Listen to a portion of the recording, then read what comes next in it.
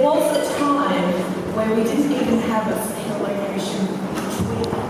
And one of the major jobs for the operations team was to rearrange